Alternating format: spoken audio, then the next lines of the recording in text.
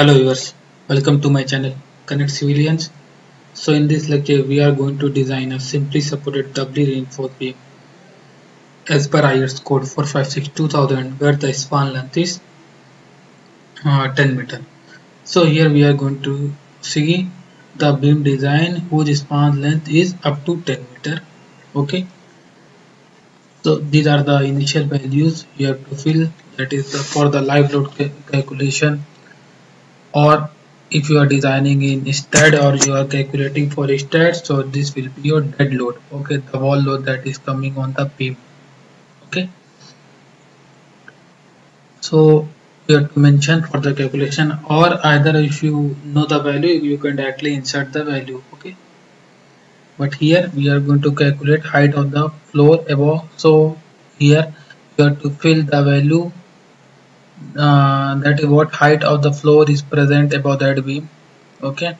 So our is 3.5 so we are going with 3.5 okay. Now here you have to fill your beam depth that is the above beam depth that is coming above the wall okay? So you have to deduct this width okay? So our above uh, beam width is 0.4 that is 400 mm. Say if, if you don't know the value you can go with the zero also. That will be safe. Here density of brick so it is 20 if you are uh, using the lightweight then it will vary from 10 to 12 okay density of plaster is 22 here. We are taking thickness of the block work is 150 mm. This will be okay. Thickness of the plaster. So this thickness will be your inner and outer plaster. For outer we are taking 24 and for inner we are going to take as 12 mm. So you can do as 12 for inner calculation or 24 for outer or according to your site condition. Okay.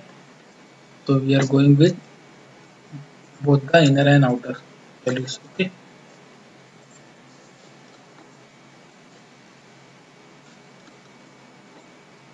so it is 36 so our total UDL that is acting on the beam is calculated as 12.073 now the dimension calculation so here you have to provide the wall thickness okay so this will be your column one end I will show you in the figure what is. This so this will be your wall thickness on left side and on right side. So either it is a column or a wall so you have to provide the width of that section okay? So for left it is 230 that is column width is 230 column or wall width. And for column 2 it is also 230 this will be okay 230 clear span is 5.5 meter so what is the clear span? This is the clear span between two columns okay? So it is 5.5 meter here 5.5 is okay. Live load will be 12.072 so it is taken from this. So it will automatically taken. Or you can also insert it manually if you are not using this calculation of that uh, wall load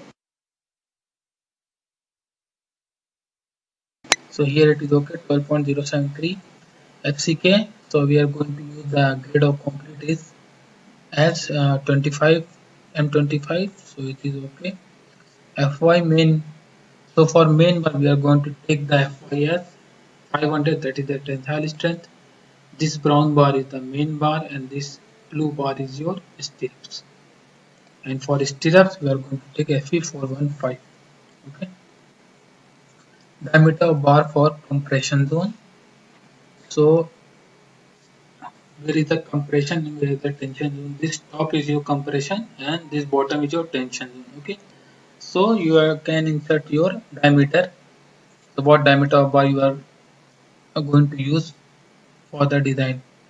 If it will not pass so I, either we can increase the depth or the die of the bar okay so it will depend also on the availability of our market. What type of bar is present in our area. Okay? For a small town uh, there is a condition that uh, not all bar sizes is available so that's why you can also increase the depth of the beam so diode the bar for compression zone as 12 mm that is the top bars and for bottom it is we are going to take as 16 mm will be okay. Dia of bar for shear reinforcement okay? Here it is shear reinforcement. That is the stirrups. We are going to take as 10 meter 10 mm sorry. So this will be safe. Okay? Factor of safety will be you can also go with 8 mm okay? Factor of safety will be we are going to take as 1.5 so this excel sheet uh, will not uh, design the beam as per the seismic also. So in that in that case you can increase the factor of safety okay up to 2 to 2.5 okay.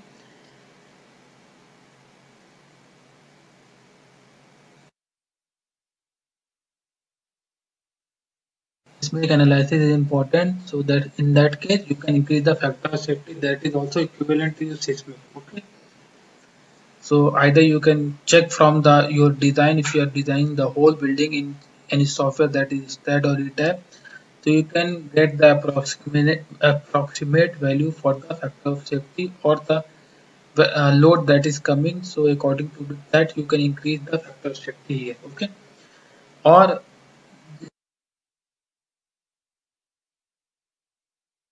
so width of the beam. So here you have to provide the width of the beam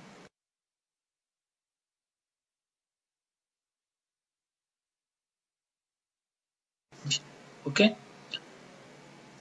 So L by 12 for continuous beam section so this will be not important.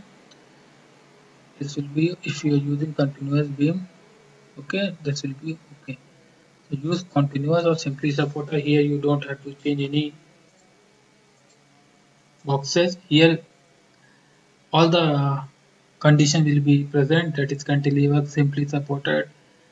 Continuous but this will help this Excel sheet will help you to design the simply supported doubly reinforced beam only. Okay it, if you are going to continue that will show you the effective depth or effective span calculation only here. So if you are going to check that steel also so you you only use the simply supported. This will help you to design the simply supported beam only. For uh, continuous beam I will also upload the video in a in our coming lectures okay? Here this will be okay. Or if you want to check your effective span so you can also check from all the conditions. For design consideration use simply supported only. So span effective depth ratio is coming as 20 okay? So this is taken from IS code 456 on clause 23.2.1 for span up to 10 meter. Okay? You can also check from the code. I am uh, going to i am also commented the uh, clause from where we have taken. Okay? You can check it from here also. Effective depth calculation is 275 it is coming. So effective depth we have to consider. So it is coming at 275 so you can take as 275 or you can do take larger value than this. Okay so i'm going with 325 you can go with also 300 if you will see that was going to pass or not so according to that you can change. So i'm going with 325 so our effective cover at tension and compression is so we are going to take the cover so it is 25 and 25 we are going to take. You can change. Also according to your exposure conditions okay? Total depth of the beam is coming as 350 self weight of the beam is 1.96875 and total load is coming as total load is the total self weight plus the live load or dead load okay? And ultimate load so it is multiplied by factor of safety is coming as 21.0611 kilonewton per meter okay? So either you can use this or you can also use own value if you want. If you know the ultimate load that is coming so you can directly insert that value here so it will also calculate okay? Uh, if you if you don't have any value so please change to zero okay. Zero if you don't do that so it will design as per your uh, given value that is present here okay? It will not take this value. So if you if you are calculating with these values so you make it as zero okay? And if you have the ultimate load so you can insert here. And our effective span is coming as 5.73 now our design bending moment calculation. So it is coming at 86.44 kilonewton meter. Okay? So it is as per IS code 456 you don't have to worry. You can check from the code or match it from the code also. Yes our stress in steel is 2 into 20 power 5 newton per mm square. Our axial mass that is limiting depth of neutral axis is coming as 0.46 into small d okay. Whose value is 148 okay? So it is uh, given on IS code 456 page 70 okay? I'm not going to take all the value from the code. Here we have mentioned you can also you can okay? And the moment of resistance for balance section is coming as 0.133 fck BD square. So our effective depth calculated is coming as 340 and we have provided as how much we have provided? We have provided as 325 okay? So our initial effective that that we have got from the uh, dimension calculation as 275 but here as per design moment calculation bending moment calculation here effective depth is coming at 340 okay? So if you have taken the effective depth less than 340 so it will show you that increase the effective depth in G22 or design as over reinforced section. Okay? So over reinforced section what will happen? It will design as per doubly reinforced beam. That's why i am saying you. So we have already done the singly reinforced beam. In singly reinforced i will repeat it. Only the bottom bar is provided not in compression bar is provided. Okay? In compression zone the bar was not provided. In tension zone only bar was provided only the top bar is provided to support the stirrups okay and in doubly reinforced beam both the tension and compression zone we have to give okay? So here this will be okay. As our d small d provided is 325 okay? And our d calculated 340 that's why it is saying you increase the effective depth or design as over reinforced section okay so we are going to design as the over reinforced section for doubly reinforced beam okay? And if you increase the depth so the excel sheet that we have given uh, i have already uploaded for singly reinforced beam you have to use that excel sheet for the design of singly reinforced beam okay? But here this will be okay. So we are going to design as over reinforced section HW reinforced beam so our MU limit is coming at 78.86 which is less than our design bending moment okay? So our mu2 is coming as 10.58 now compression reinforcement calculation that is the top bar reinforcement calculation. So here our strain stress in strain curve value is taken. So where is the stress strain curve here it is. Given on IS code 456 2000 okay this will be your present on code also. You can check from there also. Okay.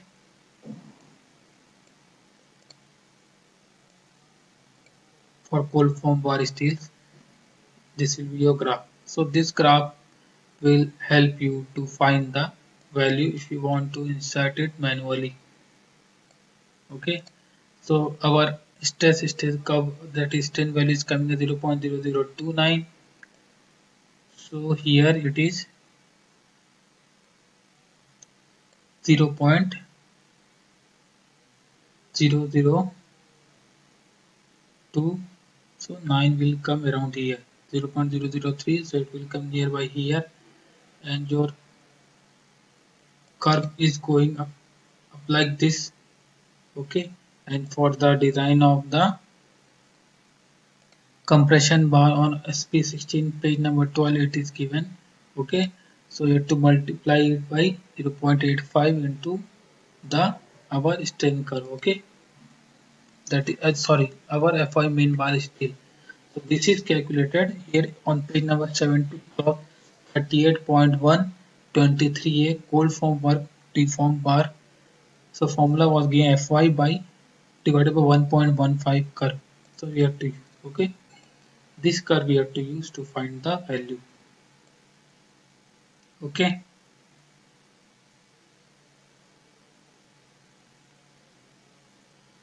So our value is coming 0.0029 and this will be a curve. So here from here value will be taken and this curve will be go like this and this will match here for uh, Fy by 1.15 so this will range as 0.85 Fy so here the same value we have taken okay? So if this value will be less so it will go straight if you are not using this curve okay Fy we have to use this curve Fy by 1.15 so if you value 0.001 so here this will go up and it will match here so minimum you have to use 0.8 fy okay? For fy by 1.15 so you have to use this fy by 1.15 okay? So here that same thing we have taken 0.85 into fy okay? So our value is coming as 425 so this is present on an sp as sp16 okay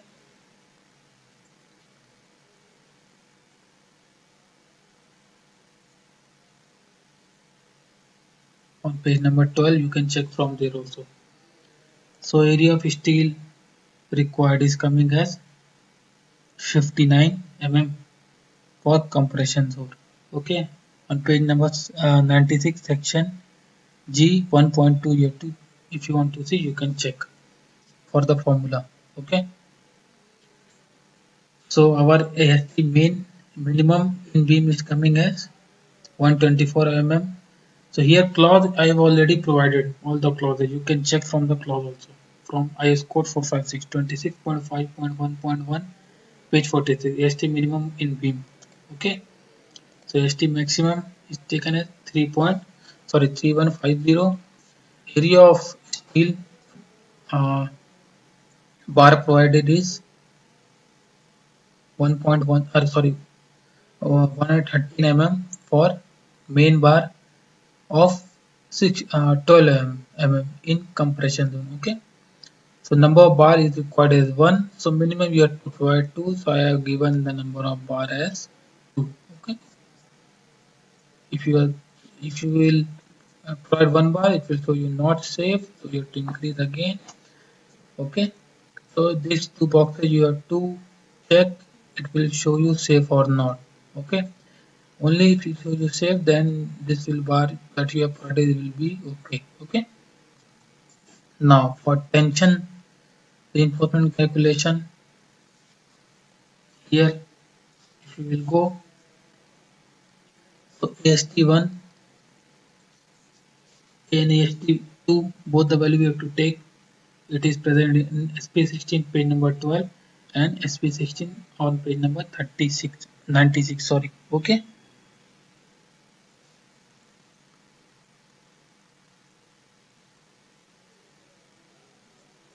So for AST2 you can check from IS code also. IS code 456 okay? So it is 687 and 58 area of steel required in tension zone will be 745 okay? And ST minimum for um, of our tension zone in beam is 124 and maximum is 3150 so area of steel bar provided will be for tension we have taken the dia of bar as 16 so it is 201 the number of bar required is coming as 4 so we have taken as 4 that will be safe also. If it will show you not safe or you have taken 3 what you have to do? You have to increase the bar okay? 4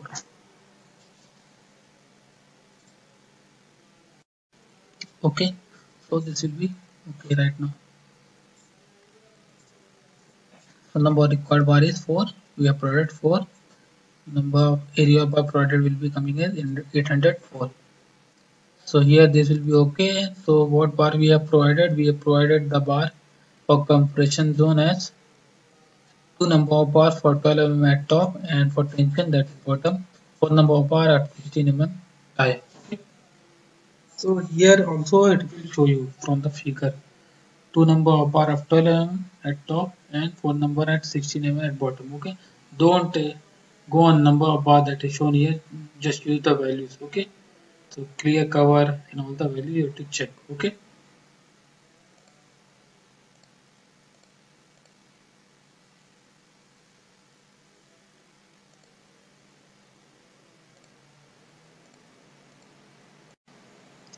so now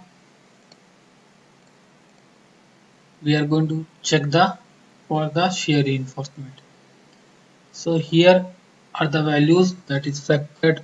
Shear force is coming as 57.92 nominal shear force is coming as 0.79 the formula will be given on growth number 40.1 page 72 IS code 456 percent of tension reinforcement is coming at 1.09 and design. So this design shear strength is calculated from this interpolation value from here okay? You have to use the interpolation for the calculation of the design shear strength okay? So it is uh, given on page number 73 of IS code 456 table 19 so I will show you this table okay? Page number on page number 73 okay. So it will come nearby it okay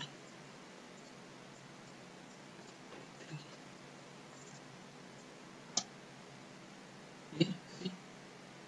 So it will on table 19 this will be table 19 okay? So here our percent of tension reinforcement is coming at 1.09 and that is 1.1 okay? Here so this value is taken from this table okay? 1.1 now here you have to check where your 1.1 is coming and what grade of concrete you have provided. So here we have provided M, M25 I think so. Yeah, yeah see? Grade of concrete is M25 FCK okay this will be FCK is your grade of concrete. So M25 so 1.1 is our percentage and M25 the grade. M25 this this and 1.1 so it will less than 1.15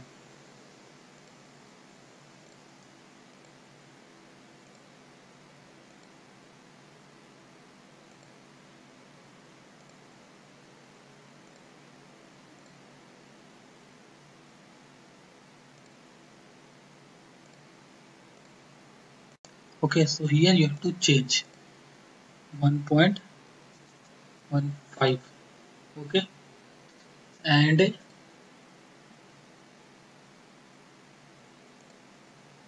one is the top value and 1.15 is the bottom value. And this 1.1 is taken from here.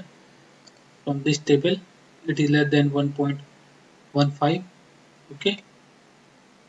And our grade will be so for M25 it is 0.29 okay we can change 0.29 so we don't know the value so you can also directly go for lesser value. Okay? For less than 1.0.15 okay? Okay sorry. It is 0.15 and our value is coming as 1.0 1.15 okay okay so 1.15 will come between 1 and 1.25 here. 1 and 1.25 okay. And for grade of concrete 1 and 1.25 it is 0.64.70 okay. So 0.64 will be top and 0.70 will be at bottom. Now design shear strength is 0.66 so this value is taken from this table okay? You can you have to use this table for the design shear strength calculation. Also will be here. So the shear reinforcement is required. So our shear resistance for concrete will come in at 48.54 and shear carried by steel will be 9.32 so we are going to take the 10 mm of dia bar that we have already provided at the initial design values that is 10 mm bar for shear reinforcement okay? And here you have to give your how much leg you have to provide. So we are going with two legs one this will be your one leg of steel and this will be your second leg okay? You can increase the leg if higher shear reinforcement is coming okay? Either you can use three leg okay? But for normal condition we generally use two, leg stirrups so area of bar provided is 157 spacing will be 1965 minimum spacing will be 630 and maximum will be 243.8 okay? So here we have provide 10 mm of dia bar of 2 leg stirrups at 244 mm center to center spacing okay? Now our shear reinforcement is also calculated here. Now you can also check for deflection.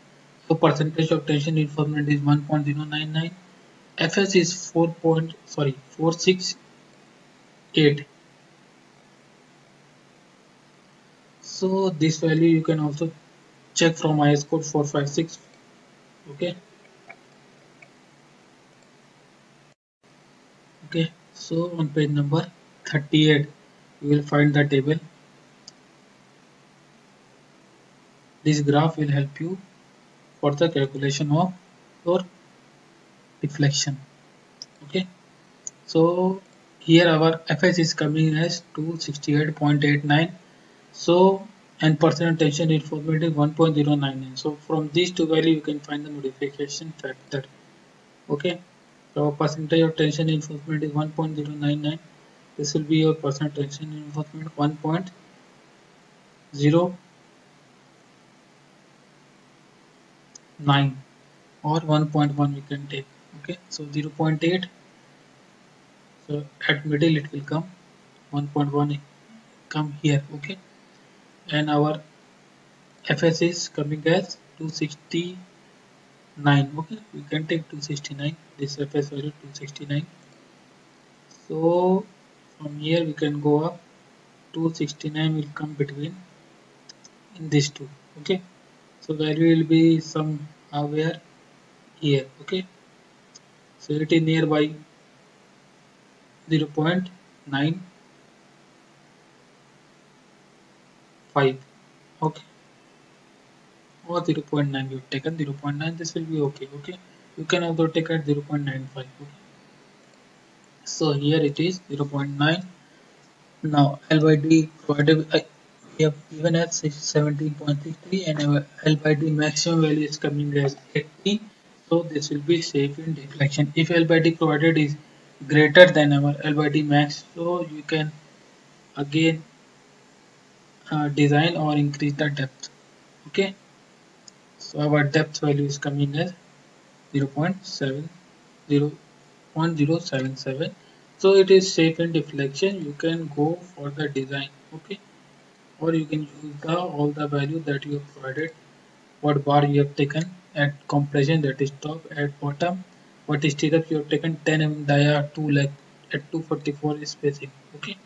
You can also decrease the size at both the uh, junction okay? That is nearby column 1 and column 2 you can decrease the spacing up to 100 mm if you want okay? For this ductile detailing uh, IS code or IS code 13920 will guide you to decrease the spacing on both the ends of the beam okay? Up to 100 mm up to L by 3 or L by 4 okay? And this will be okay. This will be safe here. So we have done the design of our doubly reinforced beam as per IS code 456 2000 where the span is up to 10 meter okay? So you I will also upload the design calculation with the same procedure only where the span or our beam is greater than 10 meter value will be taken okay? So that will also be same for all the values just we have to check that either if you are using the beam design greater than 10 meter you can use this excel sheet for uh, for the design. Or if your span is less than 10 meter you can use this excel sheet for the design okay? So if you like this video please do subscribe to my channel. Thank you